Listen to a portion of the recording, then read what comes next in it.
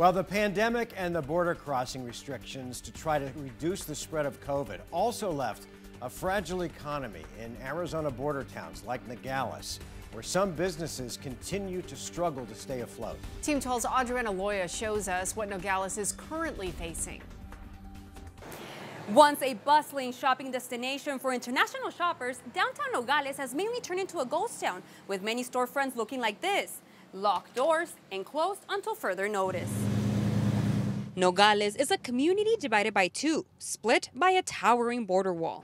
20,000 people live on the Arizona side, while a whopping 220,000 reside in Sonora, Mexico. Nogales' economy on the Arizona side heavily depends on Mexican shoppers, but it's been a different reality since federal border restrictions were implemented in March 2020, limiting border crossings to essential travel to stop the spread of COVID-19. This is the first time that I see like this. For 14 years, Kendra Duarte has worked at Kim's Shoes, just blocks away from the port of entry. Her hours reduced to fewer than 20 a week as the number of daily customers reach their lowest ever at the business. Maybe 10 or less.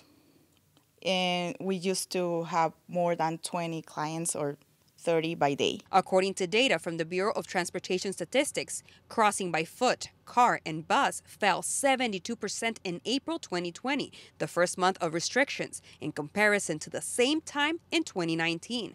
Latest data from March of this year signal hope with an increased number of crossers, but so far, that is not reflecting a positive change in the Nogales economy. We still need that, that floating population of uh, you know 40 to 50,000 people daily to come through Nogales. Nogales Mayor Arturo Garino attending a roundtable with Governor Doug Ducey and other community leaders Wednesday, following the opening of a 60,000 square foot produce cooler expected to create jobs and expand commerce between Mexico and Arizona. Despite all our setbacks, Mexico is still Arizona's number one trading partner.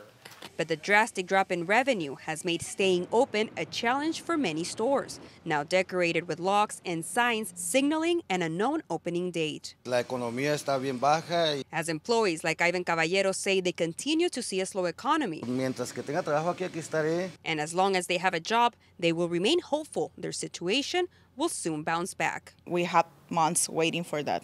With closed businesses full of merchandise, stores have turned into storage units as residents hope restrictions aren't extended any longer. In Nogales, Adriana Loya, 12 News. Adriana, thank you.